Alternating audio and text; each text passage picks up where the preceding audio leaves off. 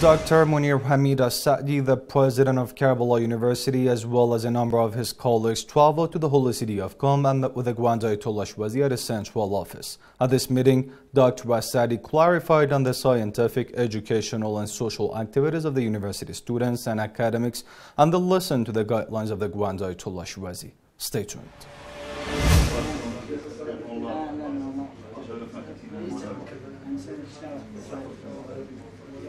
خادمكم دكتور منير السعدي ان شاء الله مولانا دكتور قيس السماك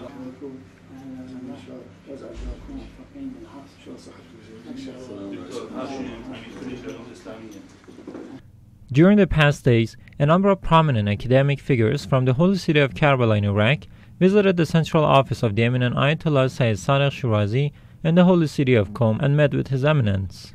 In a statement, the eminent jurist pointed to the fact that the great people in history were not born great, they were like other people. However, they immortalized their name through their legacies. And greatness is not a commodity one can buy or sell, it is something one can earn. In a part of his speech, the eminent jurist mentions the name of Abu Dhar, the companion of the Holy Prophet, and says, Abu Dhar is a loyal companion of Prophet Muhammad, peace be upon him.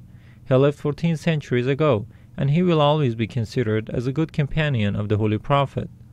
There are thousands of companions of the Holy Prophet Muhammad whose names have not been mentioned in the history, and the history says nothing about them. The eminent jurist continued, Almighty God has blessed the land of Karbala with greatness. The residents of the city need to be great as well. It is your duty to teach the youth how to be great in their words and actions. There needs to be great people in every part of the sacred land. Every individual has a responsibility to make this happen.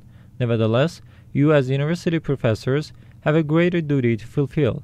أبو ذر من أصحاب رسول الله صلى الله عليه وآله صار لأربعة عشر قرن من اليوم وإلى عشرين قرن وإلى ألف قرن أبو ذر غيره ألوف من أصحاب رسول الله اسمهم ما بقى اسمهم ما بقى نعم. أكثر أصحاب رسول الله حتى اسم ما بقى عنهم في التاريخ. ليش؟ شنو فرق ابي أبي ذر عن ذاك؟ العظمة لا تباع لا تشترى. نعم. العظمة العظمة صناعه وكربلاء الله جعل أرضها أرض عظمه ترابها هاي اللي الانسان يدوس عليها. فالنش لازم شيء يكون لازم يكون كلهم هذه بيتكم أنت شباب ربوهم العظماء الله يحفظكم تربية بالقول وبالعمل. هاي الأرض لازم تخرج ألوف العظماء ألوف في كل مجال. من المسؤول الكل. بس أنتم الأساتذة مسؤوليتكم مسؤوليتك يا سيدنا صحيح. يعني تربية خصوصا في الجامعة بالنتيجة تلاميذكم هذول بالمستقبل شخصيات بالعراق. نعم. يو أستاذ يو وزير يو محامي يو ما أدري آه، كاتب يو محلل سياسي بالنتيجة. نعم. هذه التربية القولية والعملية. نعم. هذا صعب صعبة مو سهلة.